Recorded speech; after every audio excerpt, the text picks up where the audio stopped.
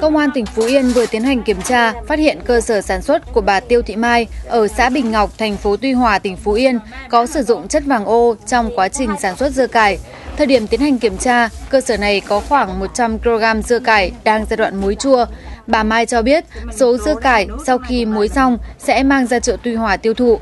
Cơ quan chức năng đã tiến hành lấy mẫu dưa cải kiểm định và kết quả mẫu dưa cải này có chứa chất vàng ô, một chất màu tổng hợp được sử dụng trong công nghiệp nhuộm vải, giấy, gỗ.